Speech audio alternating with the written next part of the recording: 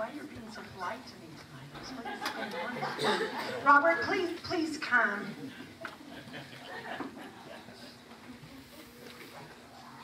Here's what you need to know about Robert. Bob, uh, Robert has been through the flood. He, he's been through the fire. He's qualified to be here. He's qualified by God, by God because he's a man of integrity. Now, he's done a bunch of stuff, but that's not what we're about here tonight. He's here tonight because he's on a mission, because he's qualified by God.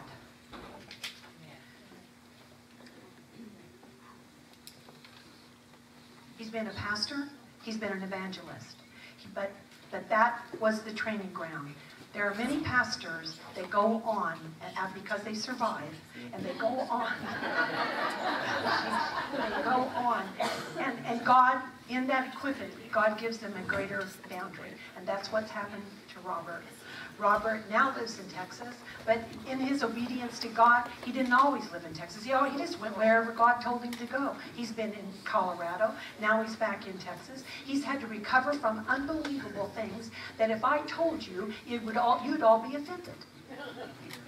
At the at the unusual amounts of things that if he's had to do, yes. But let me just tell you what, they are the scars of an apostle. And that is what you're going and that's who you're going to be listening to tonight. An apostolic gift with a prophetic sense of the timing of God. It's almost like he's an Issachar prophet, but he's going to be giving us directives tonight that will lay an apostolic foundation for, for the future. God is building an apostolic and prophetic company, and he is using men and women like Robert to lay the proper foundation to expand your concept of how the kingdom of God works. And we thank God for Robert. Now, Robert has a wife that nobody ever sees. well, but we, but we did see her in Oklahoma, and, and we know that she is a very special part of him, even though he is, is here without her. He has, how many children do you have? Six, and he's there. He's still raising some of them. Uh-huh. And that means that he is qualified to speak as to the power of prayer and the power of the Word of God to bring children along and to bring them up out and set them on the proper course. And that is what you have awesomely done. And we love you. And we were so excited that this could, this opportunity could come. And so we welcome you to Kansas. And, and you can come back anytime. Thank you so much. Okay. Okay, all right. I, th I think we, this is actually the, just him being here was a miracle because his schedule was booked up all the way through 2016. And when Sandy and Dean uh, introduced us to him, he said, you know, my schedule is booked up all the way through 2016. But I just had a cancellation in Peru.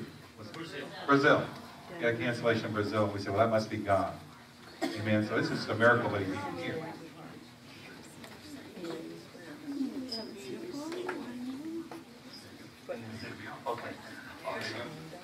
And one more quick thing before he starts. If you have a cell phone, please let's just be respectful and turn them all on to vibrate mode or turn them off, please. Okay, thank you. Appreciate it. You'll be blessed. Amen. Thank you, guys. It's good to be in Kansas. And, yeah. And I appreciate so much Sandy and Deanne and the whole leadership in Kansas. Uh, it's, a, it's a great honor to get to be with them. I met them running around with Dutch, probably, I guess, was the first time. Dutch Sheets. Uh, Dutch and I, uh, we have a love-hate relationship. I love him, he hates me. Uh, whenever he's here, he actually says the exact opposite. Uh, but uh, anyway, it's, it's, a, it's great to get to be here with you guys and uh, get to be a part of what God's doing here in Kansas and excited about what God's doing in Kansas. You know, how many, how many of you know that we are in the midst of an awakening? Yeah. yeah. It's already started, yeah. as has already been said. I, am amazed when I watch TV. You say TV, yeah.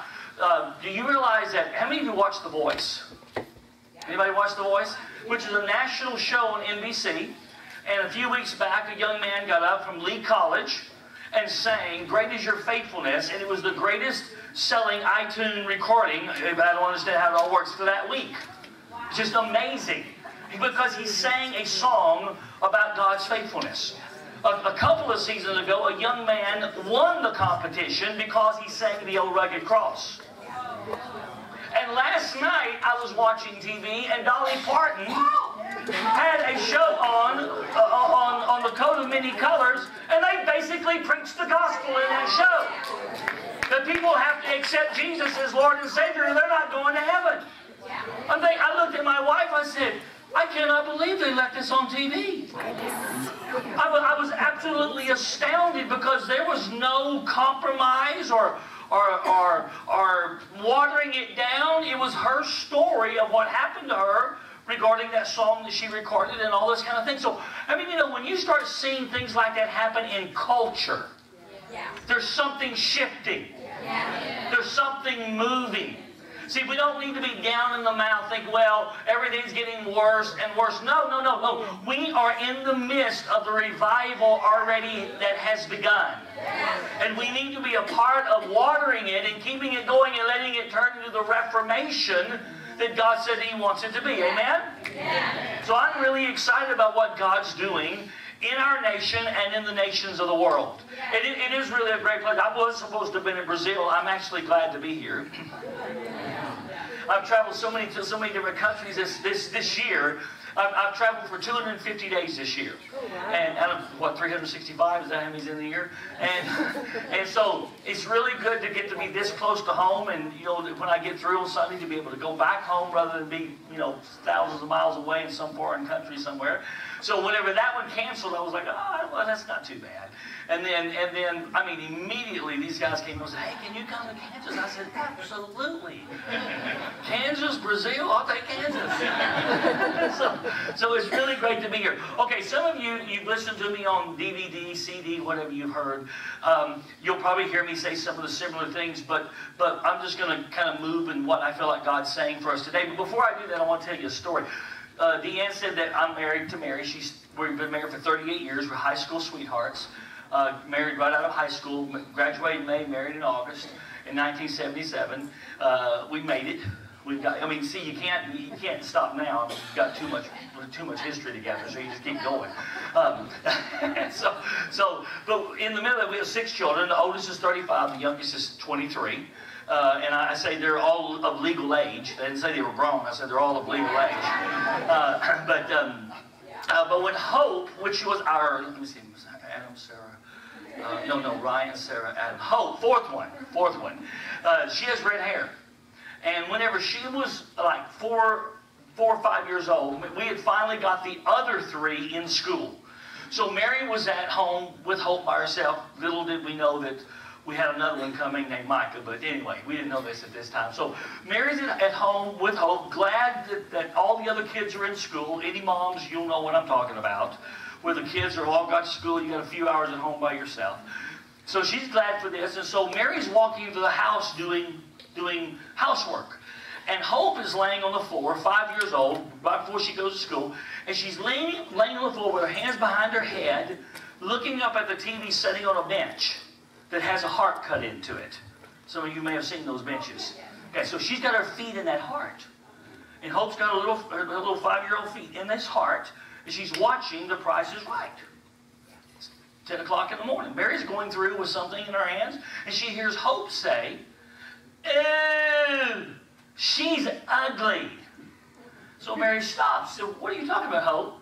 Said, this woman on The Price is Right. She's ugly. And Mary said, why is she ugly? He said, because she's got red hair. Mary Hope has red hair. And, and Mary said, well, Hope, you have red hair. And Hope said, I know, but it looks good on me. and you have to know Hope to really fully appreciate that. She always said she was a party waiting to happen. That's Hope. But but but watch this. How many know Hope had a good identity, a good self-worth? She knew who she was. She was happy with who she was. She was satisfied with who she was. How you know if we don't come to the place where we are happy and satisfied with who we are and what we are and know who we are and what we are, the enemy is going to exploit that and use that against us. And whenever you step into the courts of heaven, I am finding this more and more. You have to know who you are. Because, see, one of the greatest things the enemy will do is he will try to use intimidation to work against you. Now, before I ever understood anything about the courts of heaven, I remember we were on a 21 day fast. Because I had called a 21 day fast. I'm leading the church in Waco, Texas. Anybody ever heard of Waco? Okay, somebody says, You were in Waco. Yeah, I, led an, I raised up and led an apostolic center for 15 years in Waco.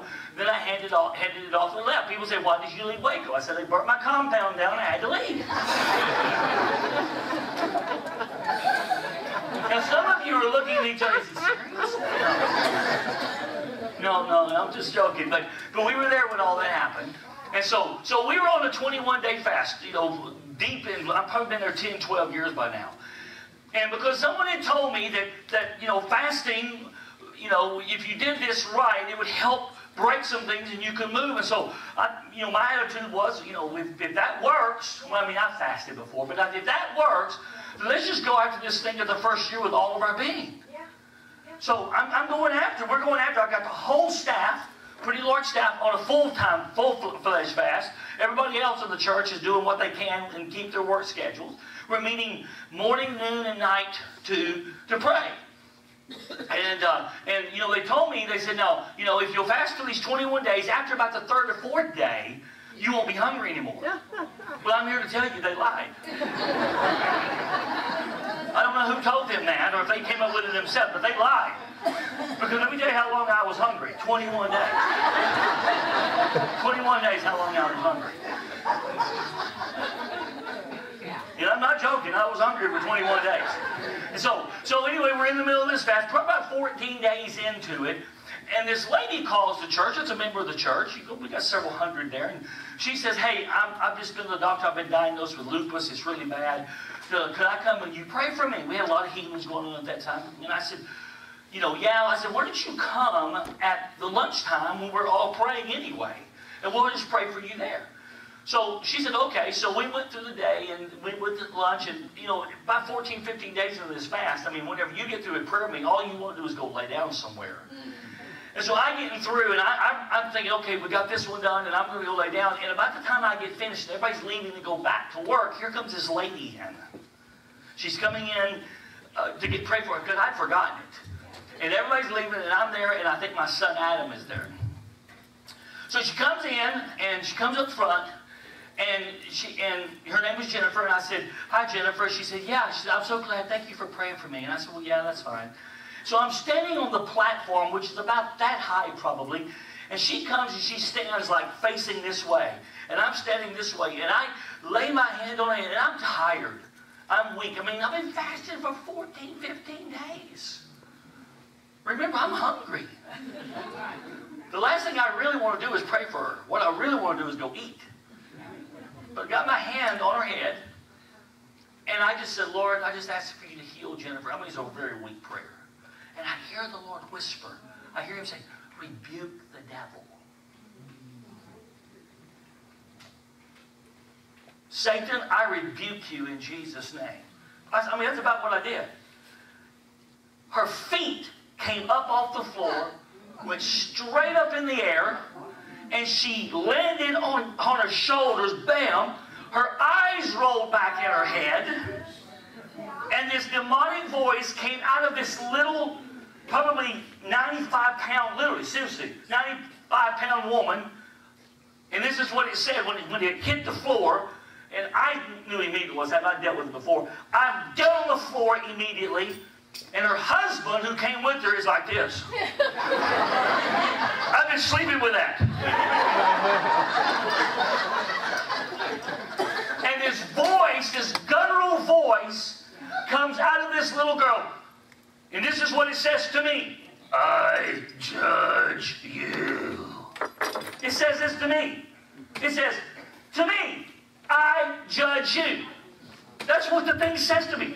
Well, see, when those things do this to me, I become angry. and I said, This is what I said now.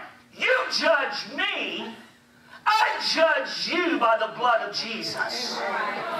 It shut up immediately. Now, I just, we got it cast out. She got healed, completely delivered, completely freed. But watch this. My reason for telling you that is that the thing by saying it was judging me, I look back now and realize it was saying, I have a case against you. I have a right not to have to obey what you're telling me to do. I judge you because I want to say this. Everything, whether you or not, everything is legal in the spirit realm. Everything. See, this is why that the cross is the greatest legal transaction of history. It's a legal, it was a legal transaction. That's why Jesus said, it is finished. What did he mean by that? He meant every legal mandate that is required for God to reclaim the universe back to himself has now been met. It's finished. Amen. Amen. So Jesus understood when he died on the cross, he was completing a legal transaction that was necessary for God to claim everything back to himself. See, but why? Because everything is legal in the spirit realm. I am convinced of this. And when I understood this, it helped me begin to process things on an entirely different basis. That's why Peter Wagner, in the book that I wrote, he said, this is a game changer. Because we have thought of, of the conflict being on the battlefield when Robert is actually saying the conflict is in a courtroom. I mean, both are conflicts. But we have to know how to take away the legal right of the enemy because until we take away the legal right of the enemy to operate, he doesn't have to do anything we tell him to do. Now, help, let, me, let me help you understand this. I'm just going to walk through this. Just let me show you scriptures. I, um, Revelation 19 and verse 11. Let me just walk through this for a few moments with you. We'll just kind of lay a foundation tonight and see where we go. But Revelation 19, verse 11, it says, Now I saw heaven open, John said, and behold, a white horse, and he who sat on him was called faithful and true. And in righteousness, watch what it says, he judges and makes war. Judgment is judicial activity. Making war is battlefield. This is what I felt the Lord said to me. Notice the order. You never, ever go to war until you first been to the court. That you have to know how to get judgments in place, get judicial things in place before you can step onto the battlefield and win. Are you getting that? This is an order. He judges and he makes war. Now, the best way I know how to explain this is, is from the, what, when the Bible says that we are kings and priests to our God. Okay, Revelation chapter 1, I think it's verse 6. Let me, let me just, well, since we're here, let's just turn and read this so we'll all have a point of reference. Revelation chapter 1 and verse 6, it has made us kings and priests to his God and Father, to whom be glory and dominion forever and ever. Amen. See, that we have been made kings and priests by virtue of what Jesus has done. And in Revelation chapter 5, I believe it's about verse 12, um, he, uh, excuse me, it's about verse um, 10. Revelation 5, verse 10, and has made us kings and priests to our God, and we shall reign on the earth. So, so we, and in uh, 1 Peter chapter 2 says that we're a royal priesthood. Royalty, speaking of kingship, priesthood, obviously speaking of that function. See, the best way to explain going to court and then to the battlefield is from this perspective. Okay, let me explain to you about this by, by, by showing this. The job of priest is to get legal things in place. That's the job of priest. Stop and think about when God instituted the priesthood back in the days of Aaron whenever he said Aaron would be the high priest and then his sons would be priests with him and all this, what would they do? They would take the offerings of the people. They would offer the offerings in behalf of the people. Remember? And based on the offerings, hear what I'm about to say, it would grant God the legal right to be able to hear his people's prayers and respond to them. Now, you really see this in, in, in the Day of Atonement. When they would take the blood of the Passover lamb and they would go behind the veil, the priest would go behind the veil and they would pour out and sprinkle the blood. Watch this. On the basis of the testimony of that blood, it granted God the legal right to roll the sins of Israel back off of them for one more year. Because you got to get this. Forgiveness is never free. Forgiveness is a result, watch what I'm about to say, of Jesus giving God the legal right by his blood to forgive us. You say, well, God's God. He can just decide to forgive. No. God has to have a legal right to forgive. The priest, when he offered the blood of the bulls and goats, it would give God the legal right to forgive their sins or to roll their sins off of them for one year. It was the testimony of the blood that gave him that legal right. Are you getting this? Amen. That's why God forgives us for Jesus' sake. Remember those kind of verses in Ephesians? God forgives us for Jesus' sake. What does that mean? He, he Jesus' sacrifice gives God the legal right to be merciful. Because what, watch what I'm about to say. God is always looking for the legal right to be merciful. Now, I just said something very significant there. God is always, see, we've got to understand this about his nature. In fact, I'm going to just make a statement. If God was to judge America, it would be because the ecclesia failed to give him the legal right to be merciful. Anytime God judges a nation, it's because the ecclesia in that nation failed to give God the legal right to be merciful. You say, what are you talking about? Sodom and Gomorrah. Remember Sodom and Gomorrah? God says, the cry has come up before me, I have to destroy it. But then he says, is, can I do this thing without telling my friend Abraham? So you casually read that and you think, oh, God's just going to tell Abraham so that, you know, Abraham will know because he's, he's God's friend. No, God told Abraham for a strategic reason. The reason God told Abraham what he was going to do to Sodom and Gomorrah is because God knew Abraham, as his friend, knew his heart. And that God, by telling Abraham, wasn't telling Abraham so he can prophesy and get his picture on charisma. Or get on TBN. Or go on Sid Roth, which I'm going to be on, by the way. Or we already texted all that. Or any of that. That wasn't the reason he got. Abraham understood because he was God's friend. God told me this because he wants me to seek to give him a legal reason, reason to be merciful. Which is exactly what Abraham did. He said, Will you spare it for 50? I'll spare it for 50 righteous. All the way down to 10. Guys, please get this. God said, if there's 10 righteous, that will be sufficient for me, watch this, to spare a whole population. And people have said all my lifetime, Abraham stopped too soon, he should have went to one. But they don't understand. 10 was the smallest number that constituted a government within that culture. And even within the culture of God. God was saying, 10, even though it's the smallest number, will give me the legal right as a government I can recognize that will give me the legal right to be merciful and not have to destroy Sodom and Gomorrah. Guess what? The church is God's government.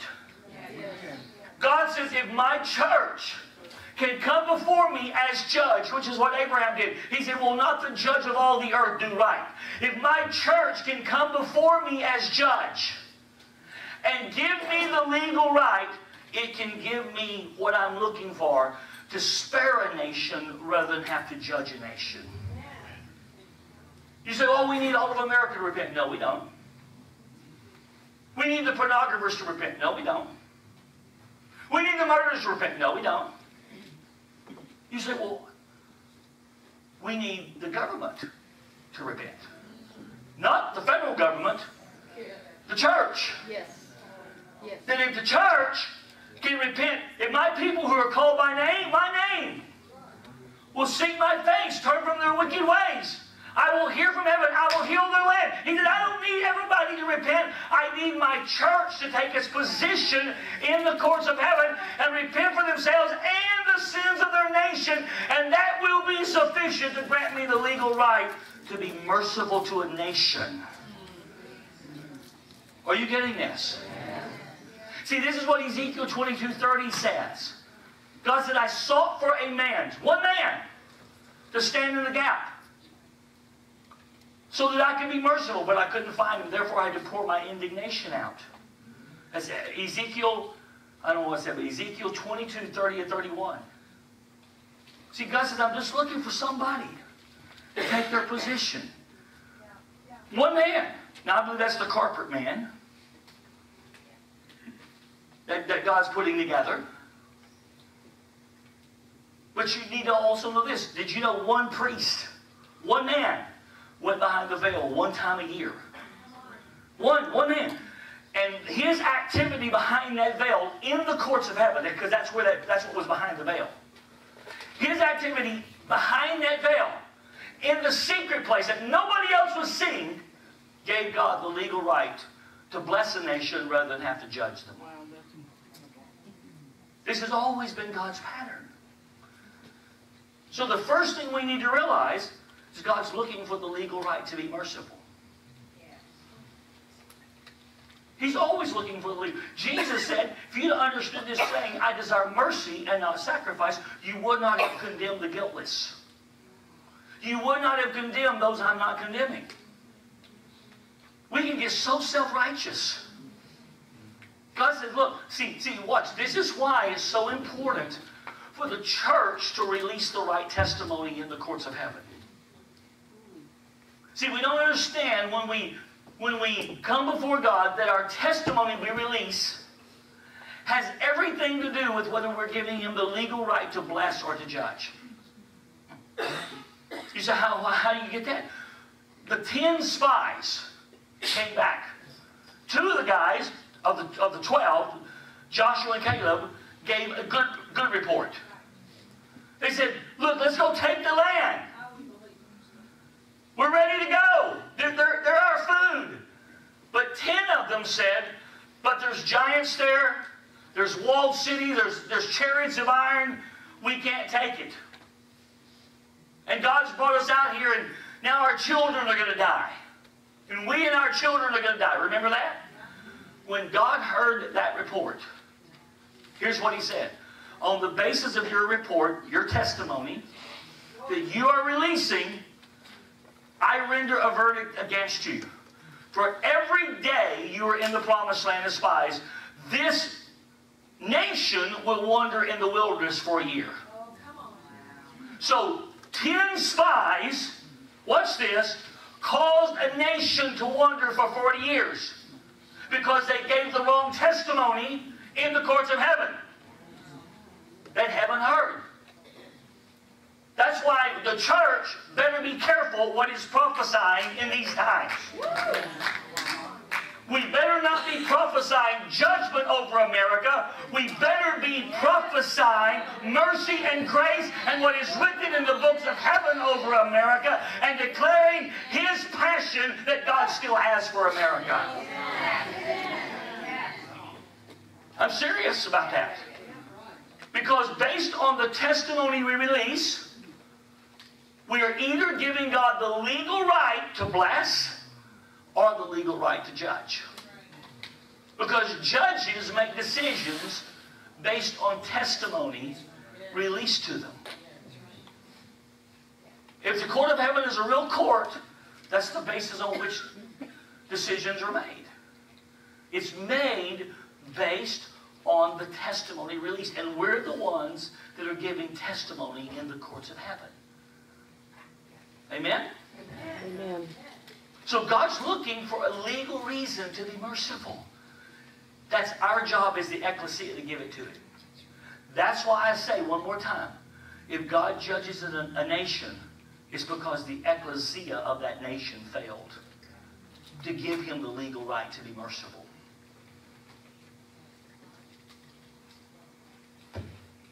That's our job. Lord, we, we don't want America judged. We don't want death and murder and decay and destruction and, and all of that, Lord. We don't want to see hundreds of thousands and millions go in to a Christless eternity. We don't want to see that. We want to see salvation. We want to see mercy. We want to see goodness. We want to see kindness. That's our job as the ecclesia. Amen? Amen. Amen. So, again, one of the best ways to understand that we get judicial decisions first before we go to the battlefield is to understand the job that we have as priests, individually and corporately. Our job as priests is to give God the legal right. Now, let me explain this. We're obviously not taking the blood of bulls and goats anymore. We're taking the blood of Jesus. We take the blood of Jesus and we repent for our sins and the sins of our fathers. And we ask for the blood of Jesus to be sufficient, which it is, to forgive us of our sins and to forgive, watch this, the sins of the fathers so that the legal right the enemy is using to bring destruction, or if you can hear this, I'll get to this probably tomorrow, to land curses is taken out of the way. Because, let me just, I'll just say this to you. Curses, according to Proverbs 26 2, can only land where there's a cause. When it says a cause, that means it's found a legal right. And I'm going to tell you that most curses are the result of the iniquity that's in the bloodline.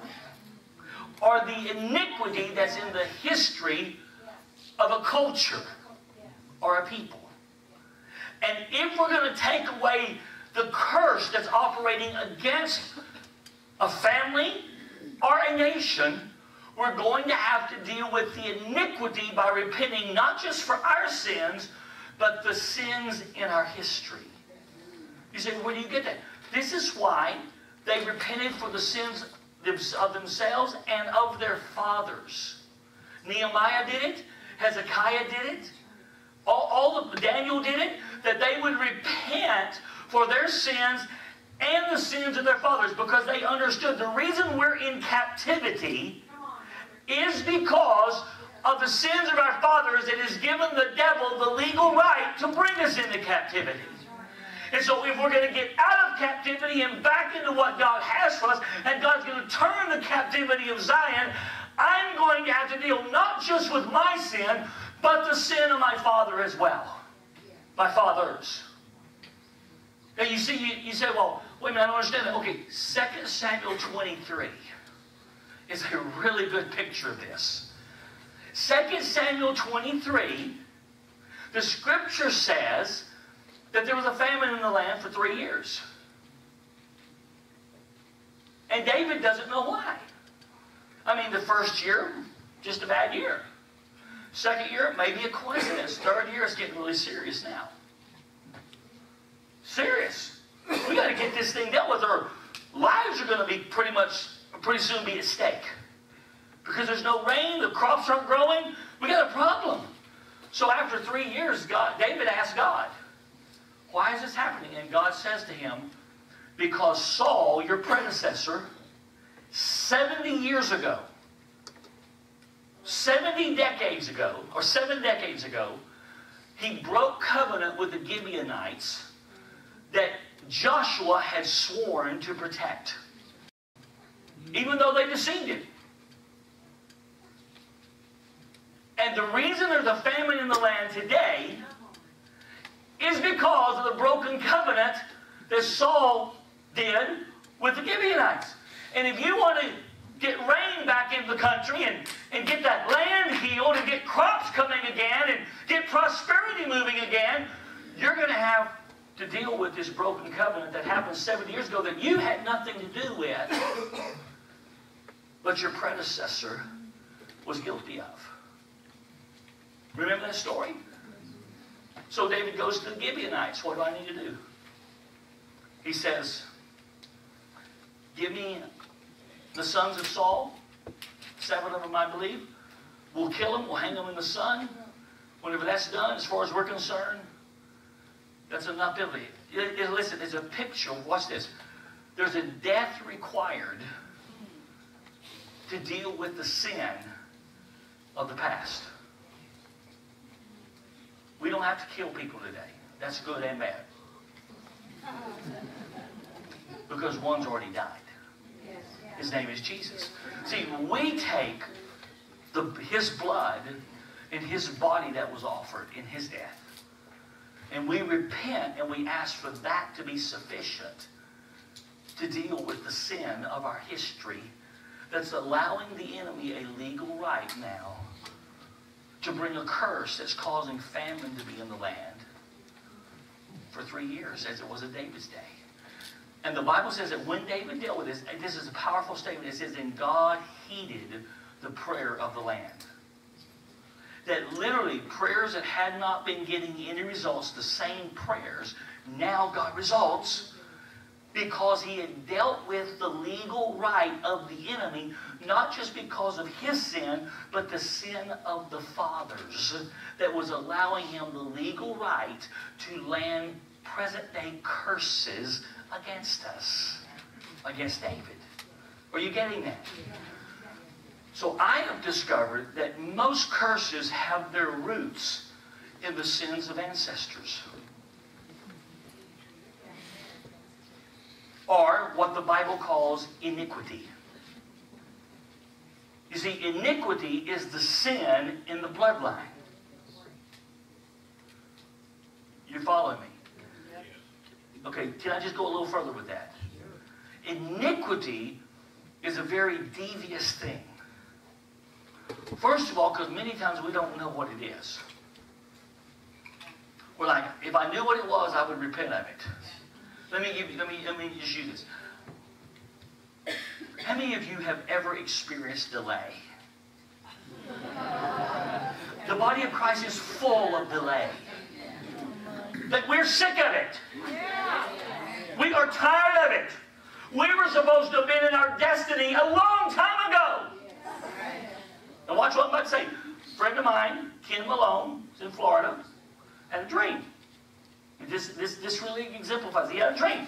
In the dream, and he doesn't really know about the courts of heaven. I think since in the order of my book, my daughter said.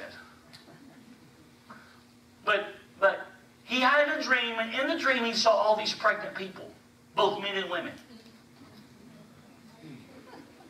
Yeah, obviously it's a spiritual dream. women pregnant, men pregnant. Some were pregnant a few months. Some are pregnant for nine months. Some are pregnant for 10 months. Some are pregnant for 12 months. Some are pregnant for two years. Some are pregnant for decades. Now, my wife has had six children. I've watched them. I've watched her have six children. She asked me when my daughter had her babies, do you want to come in here? I said, no, thank you. Six times is enough. I definitely do not want to see my daughters in that situation. So I'll stand here and pray. But I watched my wife have these kids. And I'm telling you, whenever she would start getting the, the nine month period, we're trying to figure out any way we can to get this thing out of her. You know, my mom would say, take castor oil. I think Mary took some castor oil. I mean, I think, how does this work? Does it like make it slippery so it slides out? I don't know why this works. But I mean, I'm watching Mary, I'm watching her, you know, get in chairs, and then I'm watching her get out of chairs. She's miserable. I mean, miserable at the nine month period. I can't imagine being pregnant for decades and overdue for that long.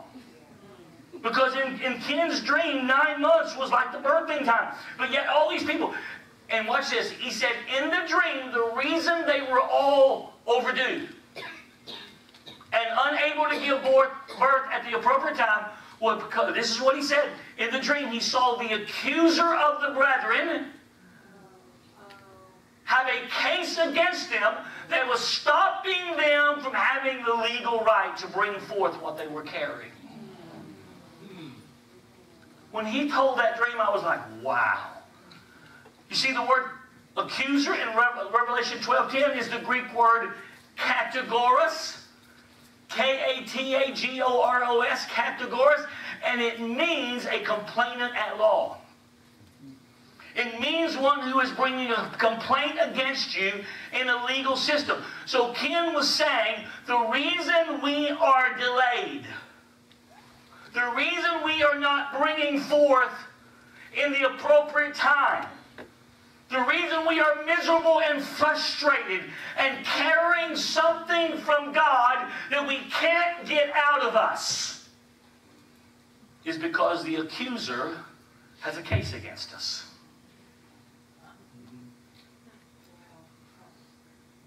How many of you have ever felt that way? I have. I cannot tell you how many things have been promised me. Seriously. Good intentioned people promised me all sorts of things. I finally stopped believing any of them. Because I knew it was only going to be one more disappointment.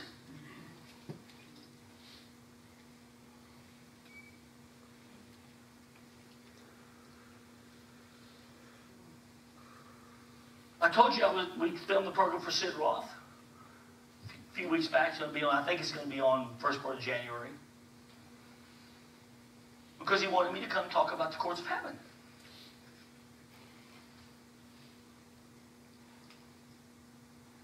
What you don't know is that they contacted us over two years ago. Hmm. We want you to come on the program. We want you to talk about the courts of heaven. We've read your book. We like your book. So we went through the whole, I mean, long questionnaires, filling out all the stuff.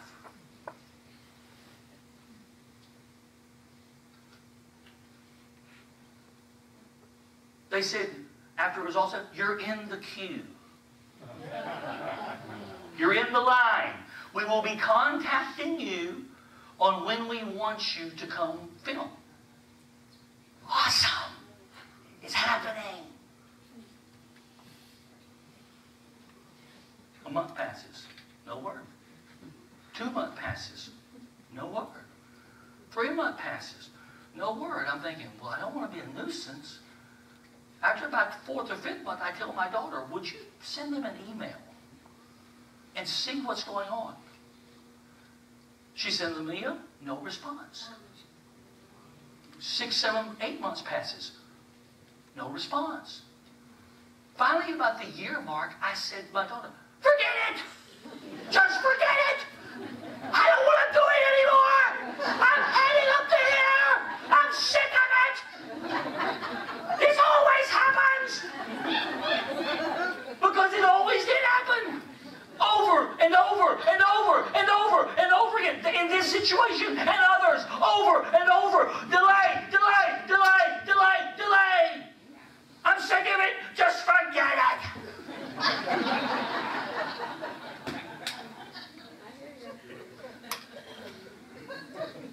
About after, right after that, I would say within a week or two, I have a dream. In the dream, my great grandfather oh, has committed a sin of negligence that has caused someone else to be damaged, that has caused a judgment to be against me now. That was the whole dream. That my great that I never knew. I barely remember my grandfather. But my great grandfather that I never knew had done something in negligence that had hurt someone else that was now causing a judgment from a present day court in my dream to be against me. Well, it doesn't take a rocket scientist to figure this out when you understand the courts of heaven. I get up and I understand my great grandfather was negligent. I don't know how or in what area. I don't know who he hurt. But I went to prayer that morning, and for an hour I repented and asked for the blood of Jesus to forgive me and my lineage for every place of negligence and to forgive my great grandfather, and let the blood answer this accusation that is against me, that is causing the promises of God unable to be a reality because of something that happened in my generations many years before. I repented in weeping and tears.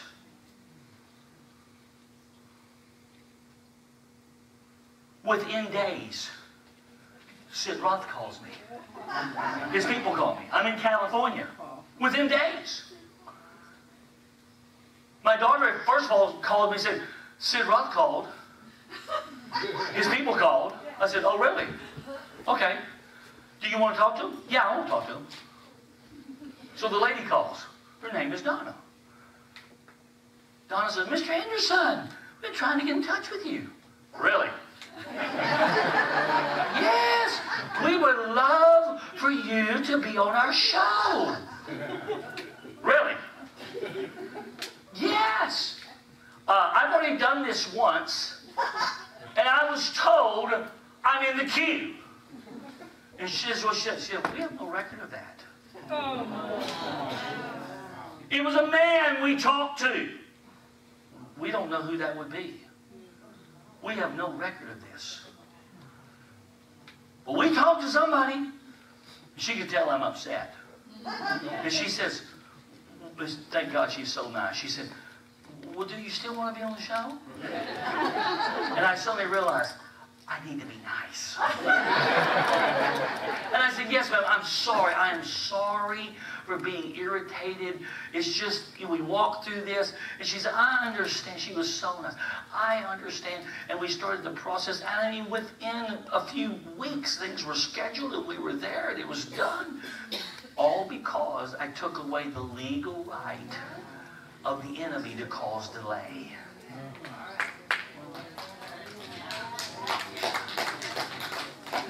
You see, that delay we've been experiencing, that pregnancy that is perpetual, that we can't get rid of this thing, it could be because there's something legal against us. And we need to repent for ourselves and our generations and take away the legal right of the enemy to use that against us. Are you getting, are you understanding this? God wants, God wants to end the delay. By the way, we are having a conference in February in Dallas area. February 25, 26, and 12. It's called No More Delay, Unlocking Destiny from the Courts of Heaven. I would suggest if you want to understand this more, that you come to that conference. I got people from South Africa and Germany coming that understand the courts. They have me come teach on the courts, but I find out they know a whole lot more sometimes than I do. So I'm going to the experience to bring them over, all this kind of thing, and we're going to try to we're going to we're going to move into the courts and see the legal rights of the enemy to cause delay to be ended. Let me just tell you what happened. I lined up this, I'm doing this by faith, stepping in faith, believing this is something we need to do. The expense associated with every, and everything. Immediately after I get it booked, I get a phone call when I'm in Alaska from a, a guy that I haven't heard from in years. He's real prophetic. And he says, I had a dream about you last night. I said, you did?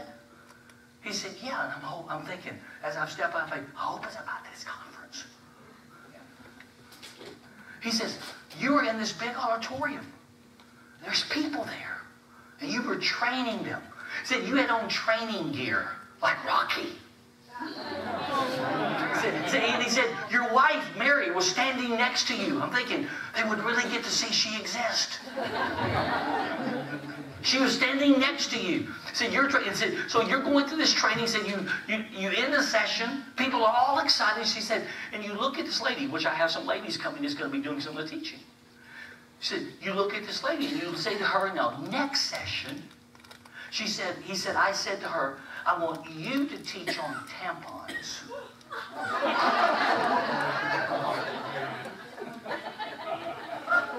and he said, and when he said, that I thought, just like some of you, what? and he said, the Lord spoke to me. He said, tampons are water used to end one cycle and begin a new one. And he said, I don't know what, he didn't know. He said, I don't know what you're doing, but he said, this is going to be used by God to end the old cycle and start the new one. And here's what I said, finally, finally, we're going to get out of the old and get into the new. Finally, we're going to stop the delay, unlock the, the, the destiny from the courts of heaven, and we're going to move into this thing with everything that God has, has for us. How many you are ready to do that? That we need to know how to function as priests. Take the blood of Jesus, deal with those issues. Okay, now I need to finish this. But we're not just priests, we're also kings. The job of priest is to intercede to grant God the legal right that he needs to be merciful. The job of kings is to decree until it becomes a reality. That's what, you, see, kings and priests are two different functions. Priests get legal things in place. Kings make decrees and they put the legal verdicts that's been rendered into place until it becomes a reality.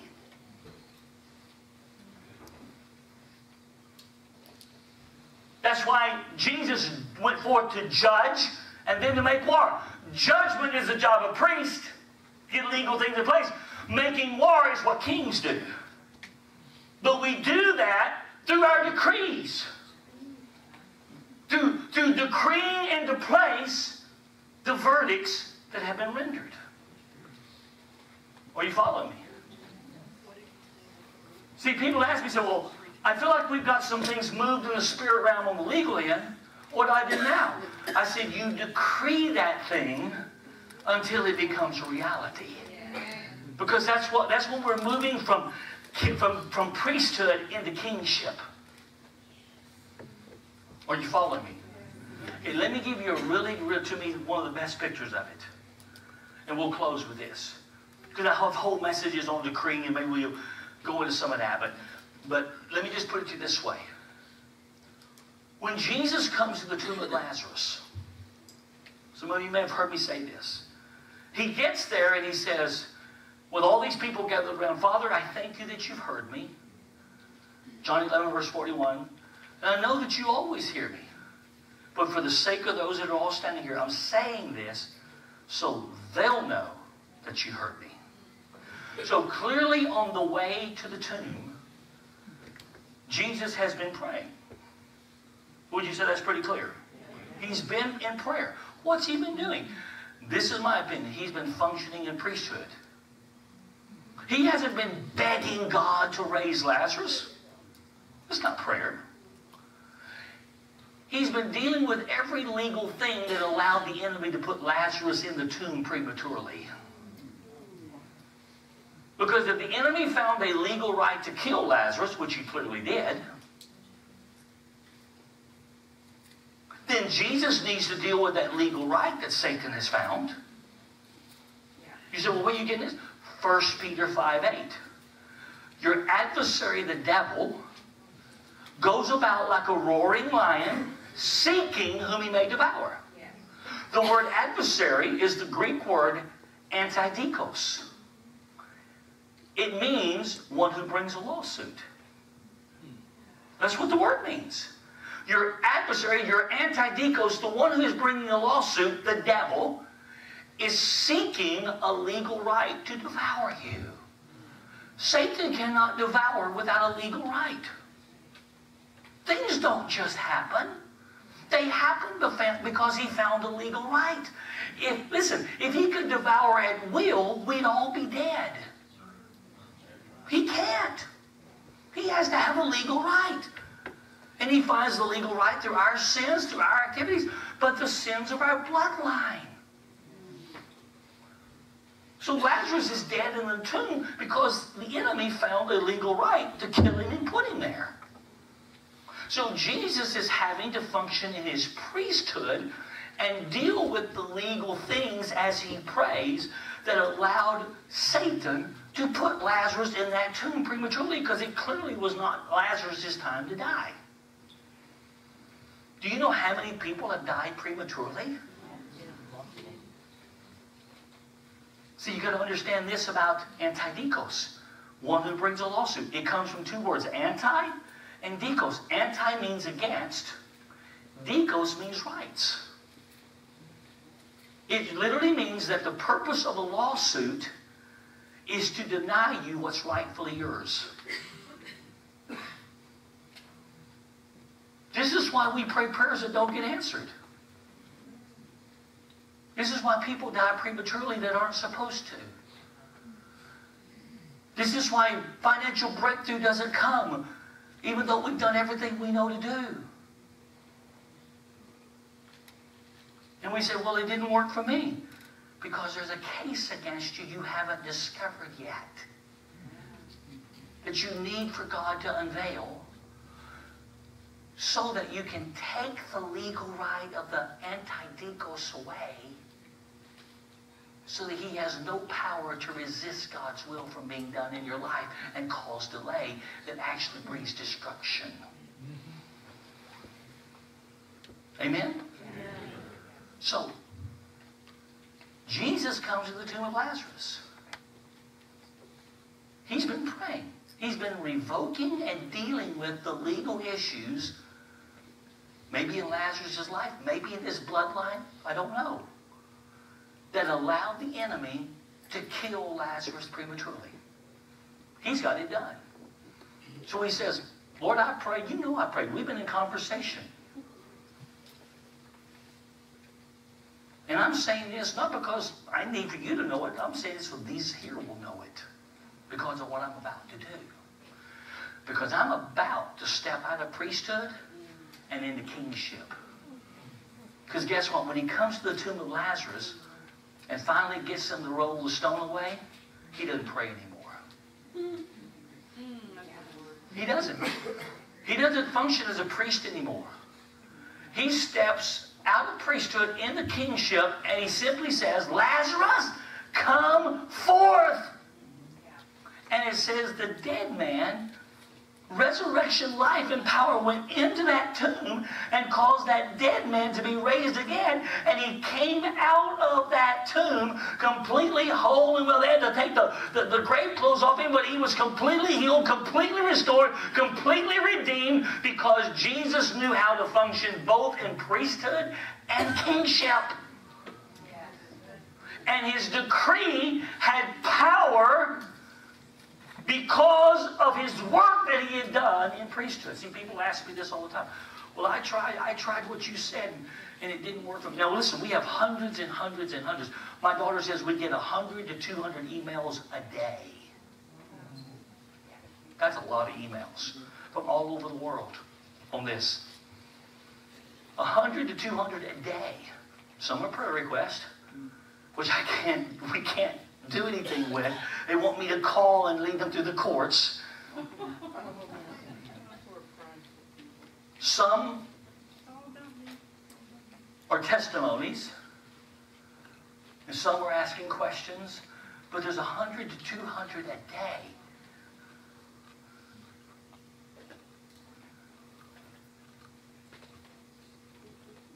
And some of them are great faith builders, others are I did it. I know it's true. I understand. I see it. But why didn't it work? because maybe sometimes we haven't done the work in our priesthood that we need to do before we step into the kingship. I'm going to close with this. Young man named Justin up in Winnipeg, Canada. Let me see if I can find his testimony right quick. I keep Justin's testimony. I think I can. Little train, I think I can, I think I can. Justin is in Winnipeg, Canada. I was in, uh, I'm trying to remember, rugby. I knew it was something, one football, something rugby, North Dakota, which is the center point of North America. And I was up there with a lady named Bart Becker. You guys probably know Bart. Great lady. And let me see if I went past this. Well, looky there. And um, this guy named Justin shows up in this meeting from Winnipeg, Canada. He's driven five hours, he and a friend, to come hear me because he had heard me teach on the courts of heaven on YouTube. So he drove for five hours to get there. Because this is his testimony. I didn't understand it. I didn't know what to do. I listened to you. I knew there was something to it. I did what you said do, and I had amazing results. So he wanted, I was that close, he wanted to come hear me. So he and his friend Jeff drove there, listened to me, and then drove seven hours back in a snowstorm. And then they came to Texas when we had a little seer training, uh, which we'll be doing in the conference as well. And, um, you know, just, just invested lots of time. But this is just his testimony. He's had a quick testimony. Oh, this is a different testimony. Let me read this one for you. He said, A guy named Peter came to my house three weeks ago. He lost his retirement because a financial advisory stole their money and ripped a bunch of people off. He lost his house, etc. He was a retired pilot. As a result, he was forced to work again. We took this into the courts and dealt with the legal stuff. His request to the father was that he would not have to work as much and would receive way more money to recover what he needed. The next week he got called into the office. He thought he was getting laid off. The boss said, You're not in trouble. Relax. He said, We were hiring a guy to operate the commercial division, but we felt last minute that we wanted you to operate it instead. Also, you will only oversee. The others will do all the work, and you will get paid in full for the position.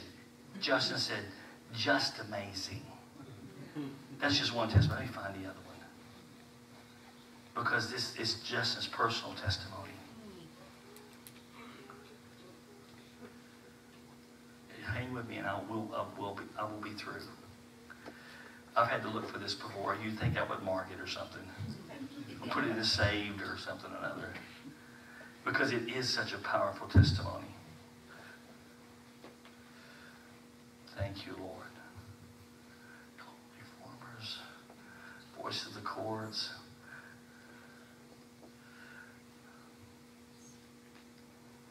Belfast, I'm going to Belfast, Northern Ireland.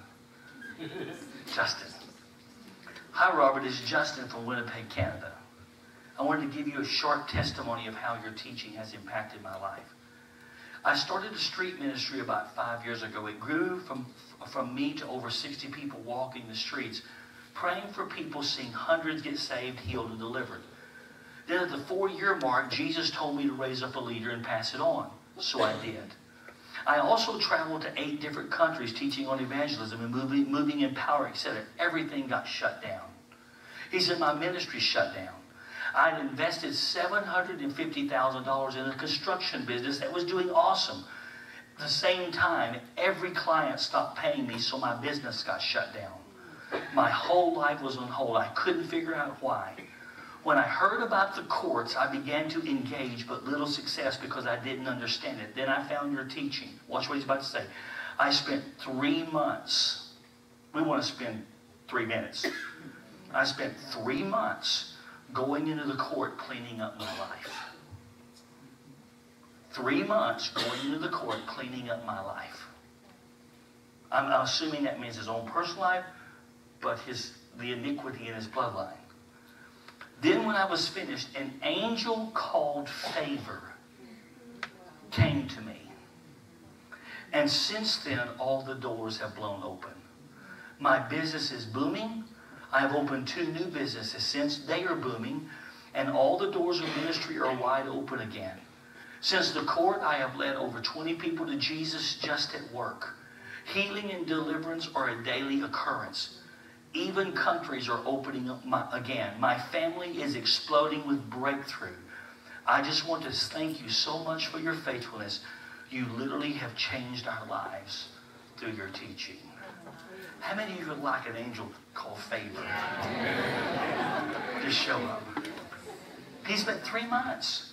This is what I mean when I say we have to do the work in the priesthood and then step into our kingship and make decrees. It is different for everybody. I have seen instantaneous results. I mean, just like that, in moments. But then you have testimonies like this where he spent three months dealing with issues, and then an angel called Favor shows up. I say, Lord, forgive me for being so impatient. Amen? So would you stand with me? Thank you, Lord, for your presence I sense right now. I believe that an angel called favor is available to us. We don't want to be legalistic. We don't want to say, well, we got to do we got to do three us. No, we got to do whatever the Lord says for us to do. But realizing any delay, any delay that we are experiencing can be connected to the fact there's, there's still something legal resisting us. And that once we get legal things in place from our priesthood, we can step into kingship and make decrees that heaven will back up. Amen? So, Father, we just want to thank you for your understanding. I just want to thank you for loving us so much that you pull back the veil and you cause us to see and perceive the ways of the Spirit. Lord, what's going on in the Spirit? We don't want to be so brash or so arrogant as to say everything's got to fit into this box. We wouldn't say that, Lord. But we would say, Lord, that we want to see your will done in our life and we want to see your will done in Kansas. And we want to see your will done in America. And we want to see, Lord, all that you have ordained become a reality, Lord Jesus. And we want to be a part of that process on every level, Lord. Lord, that we move into the, the places that you have for us. Lord, I want to thank you for your blood that speaks for us in the courts of heaven. Your blood that is speaking better things than that of Abel. That's what your word says, that you speak better things than that of Abel, oh God. Just tell him, Lord, Lord, you, your blood speaks. Just tell him, your blood speaks, Lord. Your blood speaks better things than that of Abel. Lord is speaking in our behalf. And we're coming into an agreement with that blood. Your blood is not something that has spoken. Lord, your blood is something that is presently speaking, Lord Jesus. Speaking in the courts of heaven. Speaking for us. Remembering us, O God. Remembering us, O God. And causing, Lord, our situations, our cases, Lord, to come before your courts in remembrance. We thank you for that, Lord Jesus. We thank you for that, Lord. And Lord, we just want to say to you that we want out of delay. Just tell him that. We want delay to end. We want it to end for ourselves. We want it to end for our family. We want it to end for the body of Christ, Lord. Lord, it is time for the body of Christ to come out of delay so that we can move into everything that you have for us, oh God, and we can see the fullness of that which you have ordained and the fullness of that which you have intended. Lord, be a reality, Lord. Father, not just drops Lord, Lord, of, of your will being done. Lord, not just dribbles of your will being done, but Lord, literally. Lord, a gushing river, Lord. Lord, flowing, Lord God, out of heaven, oh God, for the will of God to be accomplished, Lord Jesus, even here in Kansas, Lord. Lord, I just want to say over Kansas, Lord, we are not content, content with drops of revival, oh God. We want the downpour, oh God. We want the downpour, oh God. We want the downpour, oh God, to come out of the courts of heaven, oh God, and to fall upon this land and upon this people, oh God. Lord, we want the downpour of heaven. Just begin to cry out. Come on, just for a few moments. Just if you want to do it in your prayer language, whatever. Thank you, Lord.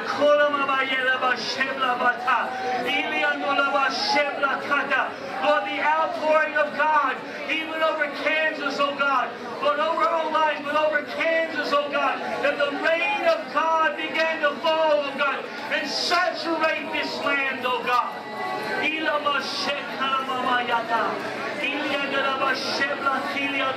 Lord, that all that's been spoken by the prophets, all that has been promised, all that has been said, oh God, all the iniquitous thrones, Lord, pulled down and destroyed, oh God. We say everything resisting your will, removed, oh God. Lord, in agreement with the word of God, oh Father. Ushelia kilia de la Thank you, Lord.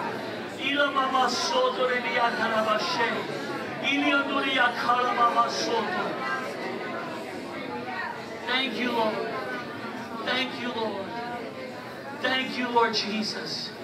Father, an outpouring from heaven, Lord, that nothing can resist, oh God. Lord, I'm reminded of David that said, You have broken through my enemies like a breakthrough of water.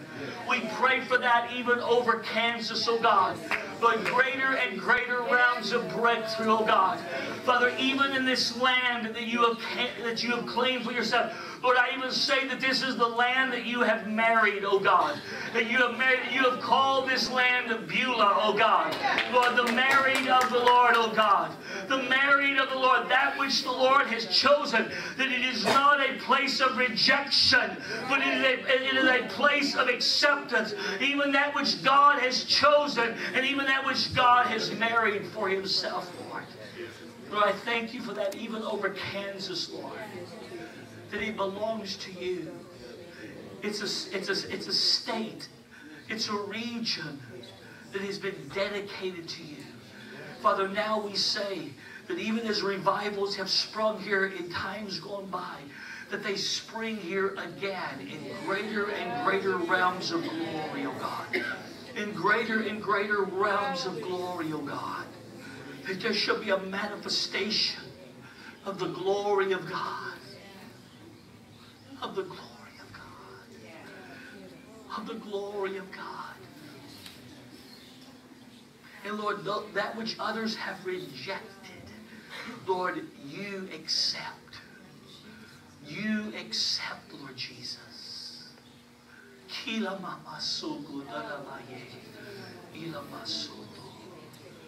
Thank you, Lord. I, Lord, Lord, I see Kansas standing up as a mighty, mighty man, oh God. Standing up. It's almost like I see something like, like Kansas standing up and shaking itself free from the dust of the earth. I say Kansas shakes free from all the witchcraft, from all the witchcraft that has tried to hold it down. And Kansas is standing up in its right position, in its right place, oh God. It is standing up, oh God. I see it's like a it's like a great warrior standing up and shaking free even from all of that that is tried to contain it, that's tried to resist it, that's tried to hold it down. I say, Kansas, stand up, stand up and take your place and take your position in the name of Jesus. In the name of Jesus. In the name of Jesus, oh God. Thank you, Lord. Thank you, Lord. Thank you, Lord. Thank you, Lord. The net that has been bit down, I say it straightens. It straightens, it straightens, it straightens, it straightens. Ila akoto. Ila mama soto. Ila mama sikarabayata. Thank you, Lord. Hallelujah.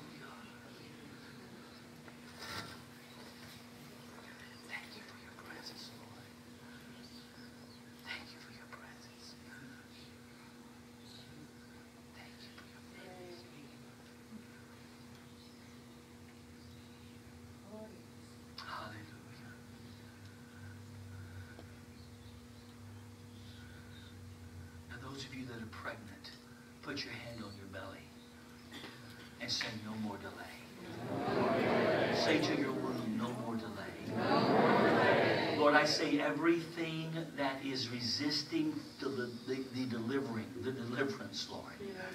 Father, from that which we have been pregnant with, we say, no more delay. Lord, we say any legal thing the accuser is using, we say to you, the blood of Jesus answers that. And we say, no more delay. We say we will bring forth fully and completely, oh God. Lord, I even say as you spoke to me in dreams, oh God, and showed me what it was, it was causing the delay. Lord, so I say, speak in dreams, speak in visions, Lord, to your people, oh God. Anything specific that needs to be heard or seen or understood, even this day and even in days to come, Lord, so that they can deal with it, move it out of the way, and there shall be no more delay. No more delay. I thank you for doing this, Lord, in the name of Jesus, that this shall be done and this shall be accomplished, Lord. Thank you for it, Lord, and that we bring forth fully that which we have carried, Lord, from you and been impregnated with by you. Thank you for this, Lord. A full delivery. A full delivery, Lord Jesus. A full delivery. A full delivery a full delivery, Lord. Thank you, Lord. Thank you for it. Thank you, Lord, in Jesus' name. Hallelujah. Every frustration broken, every misery removed, every destruction caused by the delay reversed, and restoration coming. I thank you for doing it, Lord, to your glory and to your honor. Thank you for it in Jesus' name. Amen. Amen. Would you just give the Lord a big praise?